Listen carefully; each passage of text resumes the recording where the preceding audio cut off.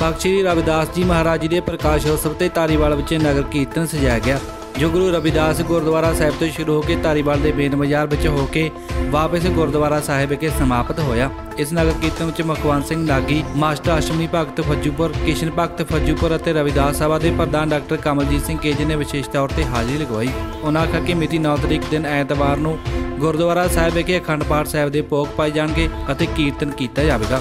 ਅਤੇ ਇਸ ਮੌਕੇ ਤੇ ਬਹੁਤ ਹੀ ਸਤਿਕਾਰਯੋਗ ਕਥਾਵਾਚਕ ਸੋਮਨਾਥ ਜੀ ਫਗਵਾੜੇ ਵਾਲੇ ਵਿਆਖਿਆ ਸਹਿਤ ਕਥਾ ਸੁਣਾਉਣਗੇ। ਉਪਰੰਤ ਗੁਰੂ ਕਾ ਲੰਗਰ ਅਟੁੱਟ ਵਰਤਾਇਆ ਜਾਵੇਗਾ। ਅੱਜ ਧਾਰੀਵਾਲ ਸ਼ਹਿਰ ਦੇ ਵਿੱਚ ਸ੍ਰੀ ਗੁਰੂ ਰਵਿਦਾਸ ਜੀ ਮਹਾਰਾਜ ਜੀ ਦੇ ਜਨਮ ਪੂਰਬ ਸੰਬੰਧੀ ਨਗਰ ਕੀਰਤਨ ਕੱਢਿਆ ਗਿਆ। ਔਰ ਇਹ ਨਗਰ ਕੀਰਤਨ ਜਿਹੜਾ ਹੈਗਾ, ਗੁਰਦੁਆਰਾ ਸ੍ਰੀ ਗੁਰੂ ਰਵਿਦਾਸ ਸਭਾ ਧਾਰੀਵਾਲ ਤੋਂ ਸ਼ੁਰੂ ਹੋ ਕੇ ਸ਼ਹਿਰ ਦੇ ਮੇਨ ਬਾਜ਼ਾਰ ਚੋਂ ਹੁੰਦਾ ਹੋਇਆ ਰਣੀਆਂ ਤੋਂ ਵਾਪਸ ਹੋ ਕੇ ਵਾਪਸ ਫਿਰ ਗੁਰਦੁਆਰਾ ਸ੍ਰੀ ਗੁਰੂ ਰਵਿਦਾਸ ਸਾਹਿਬ ਦੇ ਸਮਾਪਤ ਹੋ ਗਿਆ ਔਰ ਪੂਰੀ ਧਾਰੀਵਾਲ ਸ਼ਹਿਰ ਦੀ ਸੰਗਤਾਂ ਨੇ ਬਹੁਤ ਸਹਿਯੋਗ ਦਿੱਤਾ। ਮੈਂ ਬਹੁਤ ਧੰਨਵਾਦੀਆਂ ਸਾਰੀਆਂ ਹੀ ਸਭਾਵਾਂ ਦਾ, ਸ੍ਰੀ ਗੁਰੂ ਕਬੀਰ ਸਭਾ ਸਿ- ਸ੍ਰੀ ਗੁਰੂ ਬਾਬਾ ਜੀਵਨ ਸਿੰਘ ਜੀ ਸਭਾਵਾਂ, ਭਗਵਾਨ ਬਾਲਮੀਕੀ ਜੀ ਸਭਾਵਾਂ, ਗੁਰੂ ਨਾਭਾਦਾਸ ਜੀ ਸਭਾਵਾਂ, ਸਾਂਸੀ ਬਰਾਦਰੀ ਸਭਾਵਾਂ ਔਰ ਬਾਜੀਗਰ ਬਰਾਦਰੀ, ਪਛੜਾ ਸਮਾਜ ਔਰ ਜਨਰਲ ਸਮਾਜ ਦੀਆਂ ਸਾਰੀਆਂ ਸਭਾਵਾਂ ਨੇ ਬਹੁਤ ਸ- ਸਹਿਯੋਗ ਦਿੱਤਾ ਔਰ ਬਹੁਤ ਸਤਿਕਾਰ ਦਿੱਤਾ।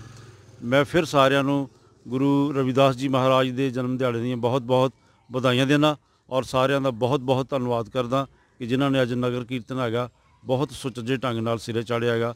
ਵਾਹਿਗੁਰੂ ਜੀ ਕਾ ਖਾਲਸਾ, ਵਾਹਿਗੁਰੂ ਜੀ ਕੀ ਫਤਿਹ। ਅੱਜ ਜੀ ਦਾ ਜਿਹੜਾ ਪੁਰ- ਗੁਰਪੁਰਬ ਹੈਗਾ, ਉਹਦਾ ਭੋਗ ਜਿਹੜਾ ਹੈਗਾ, ਉਹ 10:30 ਵਜੇ ਗੁਰਦੁਆਰਾ ਸਾਹਿਬ ਦੇ ਵਿੱਚ ਪਏਗਾ। ਉਪਰੰਤ ਕੀਰਤਨ ਹੋਏਗਾ ਔਰ ਕਥਾ ਹੋਏਗੀ ਔਰ ਕਥਾ ਤੋਂ ਬਾਅਦ ਫਿਰ ਲੰਗਰ ਲੰਗਰ ਜੋ ਤਿਆਰ ਹੋਏਗਾ ਸੰਗਤ ਦੇ ਵਿੱਚ ਵਰਤਾਇਆ ਜਾਏਗਾ। ਇੱਥੇ ਕੱਲ ਕਥਾਵਾਚਕ ਜਿਹੜੇ ਸਾਡੇ ਬਹੁਤ ਹੀ ਸਤਿਕਾਰਯੋਗ ਮਾਸਟਰ ਸੋਮਰਾਜ ਜੀ ਫਗਵਾੜੇ ਤੋਂ ਨੇ, ਜਿਹੜੇ ਬਹੁਤ ਹੀ ਗਿਆਨੀ ਬੰਦੇ ਨੇ ਔਰ ਉਹ ਗੁਰੂ ਗ੍ਰੰਥ ਸਾਹਿਬ ਜੀ ਦੇ ਸ਼ਬਦਾਂ ਦੇ ਨੂੰ ਔਰ ਗੁਰੂ ਰਵਿਦਾਸ ਜੀ ਦੇ ਸ਼ਬਦਾਂ ਦੀ ਵਿਆਖਿਆ ਕਰਕੇ ਸੰਗਤਾਂ ਨੂੰ ਨਿਹਾਲ ਕਰਨਗੇ। ਸੋ ਮੈਂ ਸਾਰਿਆਂ ਨੂੰ ਬੇਨਤੀ ਕਰਾਂਗਾ ਕਿ ਸਾਰਿਆਂ ਨੇ ਕੱਲ ਹੁਮ ਆ ਕੇ ਪਹੁੰਚਣਾ ਹੈਗਾ। ਵਾਹਿਗੁਰੂ ਜੀ ਕਾ ਖਾਲਸਾ, ਵਾਹਿਗੁਰੂ ਜੀ ਕੀ ਫਤਿਹ। ਆਵਾਜ਼ ਕਮ ਟੀਵੀ ਲਈ ਧਾਰੀਵਾਲ ਤੋਂ ਪੱਤਰਕਾਰ ਰਣਜੀਤ ਸਿੰਘ ਦੀ ਰਿਪੋਰਟ।